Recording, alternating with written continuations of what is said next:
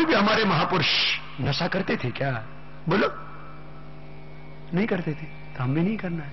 तो आज आज सब संकल्प लेके जाएँगे। कोई भी नशा नहीं करेंगे। ये भी संकल्प है संकल्प है ना? और एक काम और करना है। इस देश को गरीबी से भी मुक्त बनाना देखो, जीवन चलता है धर्म से। और राष्ट्र चलता है धन से। राष्ट्र में धन नहीं होगा, निर्धन होगा राष्ट्र। तो जीवन में कोई सुख नहीं हो सकता।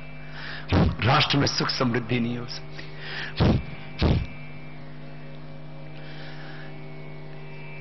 मैं यहाँ पिछले तीन दिनों से पूरे कलकत्ता में अलग अलग जगहों पर जाकर के पूरे कलकत्ता में घूम घूम करके सबको बता रहा था, देखो हमको चतुर्मुखी विकास चाहिए। आजकल चतुर्मुखी विनाश हो रहा। चतुर्मुखी विकास कैसे होगा? जरा एक बात ये भी सुन लो, फिर आपको अगला प्राणायाम करवा देंगे। और ये सबको बताना। सब लोगों को पता है तीन तरह का करप्शन होता है। एक, रिश्वत लेना। दूसरा टैक्स का पैसा जमा नहीं कराना। तीसरा टैक्स का पैसा जिसके लिए जमा किया था डेवलपमेंट के लिए, विकास के लिए, उसके धन की चोरी कर लेना। बजट बना पुल के लिए, बजट बना सड़क के लिए, बजट बना स्कूल, कॉलेज, यूनिवर्सिटी के लिए। बजट बना गरीबों को भोजन देने के लिए। बजट बना गरीबों को मकान बनाने के लिए। बजट बना देश का सुरक्षा के लिए, हथियार खरीदने के लिए। जो बिजली, पानी, सड़क के लिए बजट बनता है जो शिक्षा, स्वास्थ्य, सुरक्षा के लिए बजट बनता है। बजट बना था हॉस्पिटलों में, दवाइयों के लिए। बजट बना था देश की सुरक्षा के हथियार खरीदने के लिए। उसमें सबको पता है, सब के अंदर आज जो बजट शिक्षा के लिए बनता है, उसमें कितना करप्शन है। माने सर्व शिक्षा अभियान से लेकर के जो भी एजुकेशन के लिए बजट बने, बच्चों का खाना देने के लिए और सब में से 80 प्रतिशत बेईमान लोग खा गए। शिक्षा के लिए जो बजट बना स्वास्थ्य के लिए, गरीब लोगों के लिए जो दवाइयों के लिए बजट बनता, उसमें से पैसे खा जाते हैं। देश की सुरक्षा के लिए जो हथियार खरीदने पड़ते हैं बोफोर्स घोटाला तो एक था तो रोज घोटाले हो रहे हैं।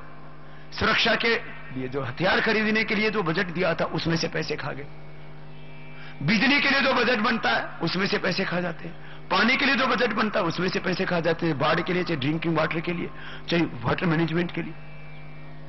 बिजली, पानी, सड़क सड़क विदेशों में आप भी गए होंगे।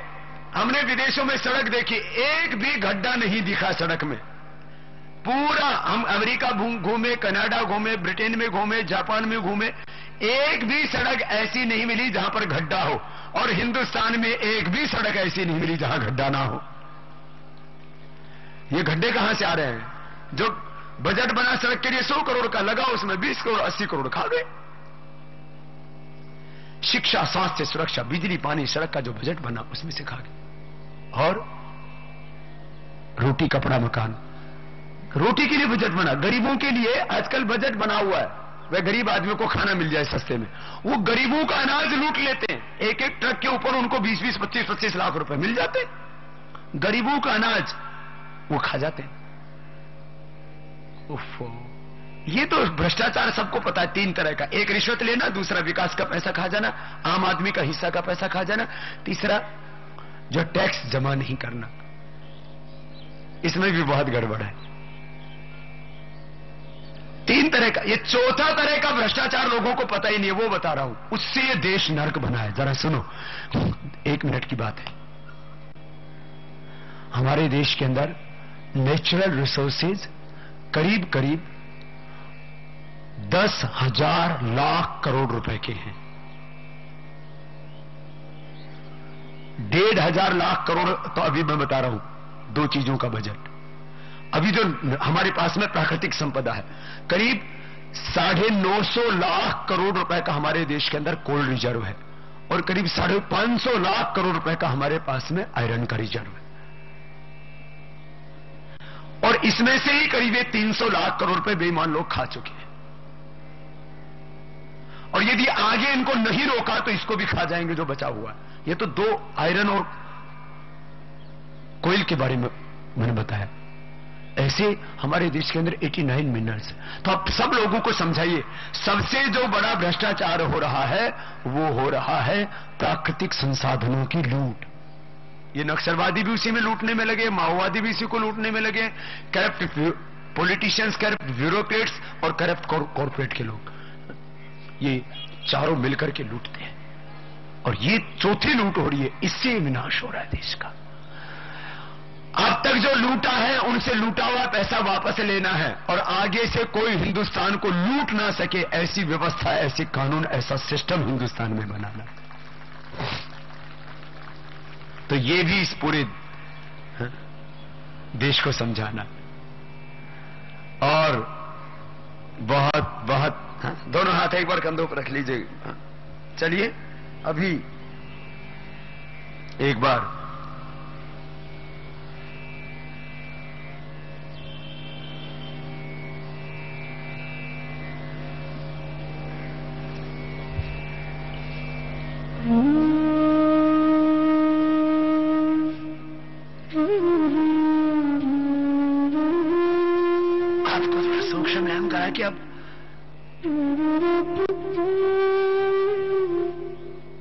आज व्यायाम भी बताना है और आज दीक्षा भी देनी है। और आपसे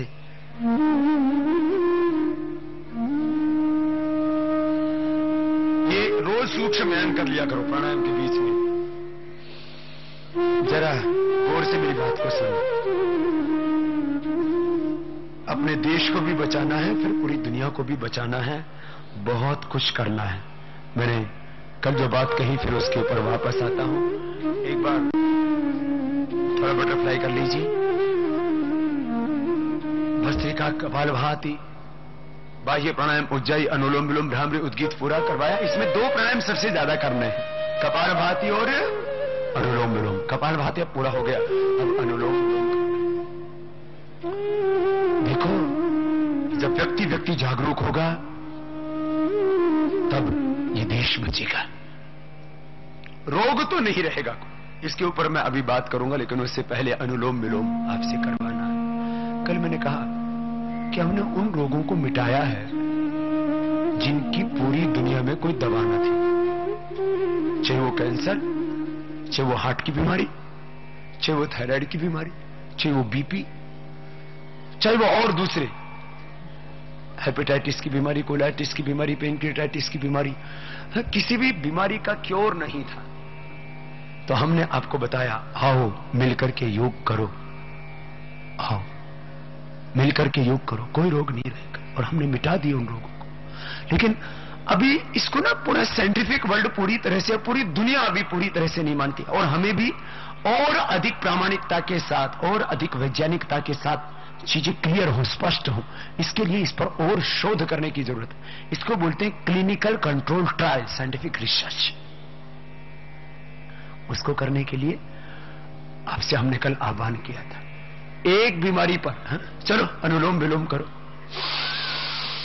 एक बीमारी पर रिसर्च होने से, उस बीमारी से पीड़ित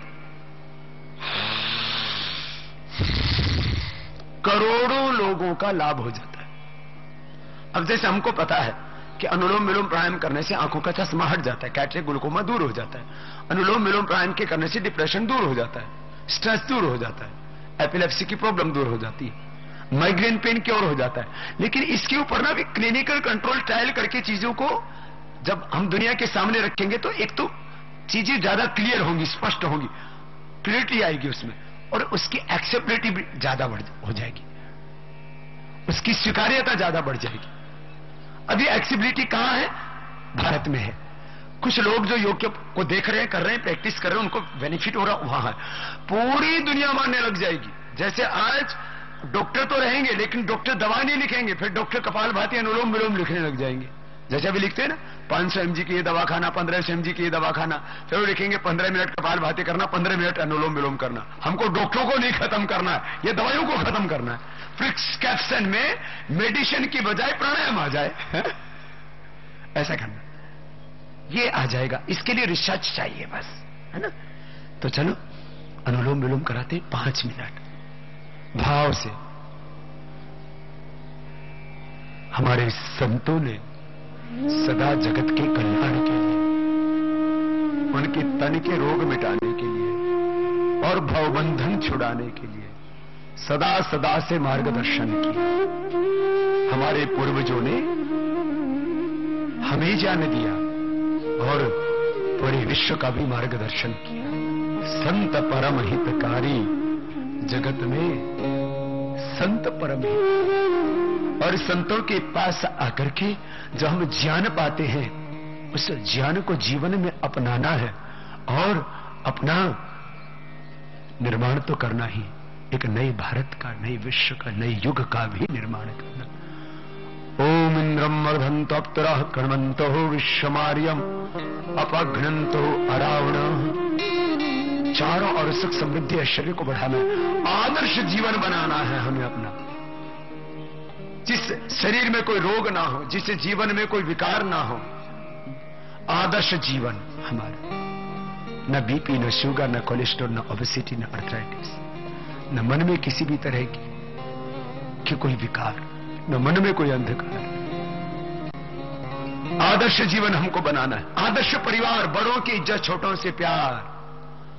सबसे अच्छा व्यवहार, एक दूसरे को अपने से ज़्यादा चाहे। ऐसा घर परिवार हो हमारा। आदर्श जीवन, आदर्श परिवार, आदर्श समाज, जिस समाज में सब लोग प्यार, मोहब्बत से रहते हो, एक दूसरे से कोई नफरत घृणा ना करते हो, वैर ना करते हो। आदर्श शासन व्यवस्था, आदर्श राष्ट्र का निर्माण करना। मैंने कहा था आपको प्रारंभ हमने आत्मरक्षा भी करनी हो और राष्ट्र की भी रक्षा करनी है। आत्मोन्नति से राष्ट्र उन्नति तक, आप योग धर्म से राष्ट्र धर्म तक आत्म जागरण से राष्ट्र जागरण तक